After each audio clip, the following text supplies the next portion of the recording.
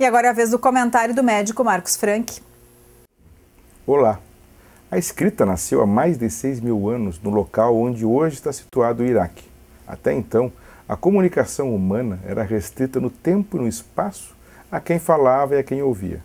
Não havia como se comunicar com quem estava longe, nem como se comunicar com as gerações futuras.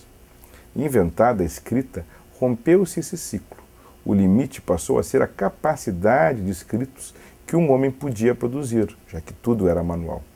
Foram mais de cinco milênios até que o alemão Gutenberg inventasse o tipo mecânico móvel e revolucionasse a produção de livros. O desafio passava a ser então conciliar o tempo com a distância, ou seja, falar para alguém longe de nós instantaneamente. Mais de 400 anos se passariam até que Alexander Graham Bell inventasse o telefone, um aparelho que permitia duas pessoas distantes conversarem entre si, uma ouvindo a voz da outra. Mas para isso acontecer, ainda eram necessários fios e cabos. Foi só no começo do século XX que um gaúcho livrou o mundo da comunicação à distância via fios. O padre Landel de Moura criou e desenvolveu o rádio. Um pouco depois, não só a fala, mas também a imagem seria transmitida à distância. Com essas invenções, o mundo nunca mais seria o mesmo. Mas com exceção do rádio, a pilha, desenvolvido nos anos 50, todos esses equipamentos eram fixos, pesados ou dependentes de uma ligação elétrica.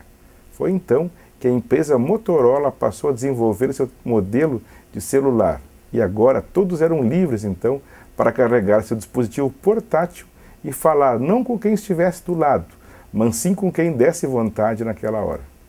Em 1990, a internet entraria na fase comercial e seu crescimento exponencial e surgimento das redes móveis de banda larga fez com que todas as formas de comunicação, até então conhecidas e citadas, convergissem para um único aparelho, o smartphone. Agora, os aparelhos celulares dispõem de rádio, TV, câmera fotográfica e internet. Parece piada, mas alguns servem até para falar. Resta agora saber se no futuro Einstein ou Steve Jobs terão a razão. Einstein disse: Eu temo o dia em que a tecnologia ultrapasse nossa interação humana e o mundo terá uma geração de idiotas. Já Jobs foi mais otimista. A principal razão para a maioria das pessoas comprarem um computador para suas casas será para se conectar a uma rede mundial de comunicações. Estamos apenas nos primeiros estágios do que será uma grande revolução para a maioria das pessoas, tão revolucionária quanto foi o telefone. Quem viver, verá. Obrigado, Rita.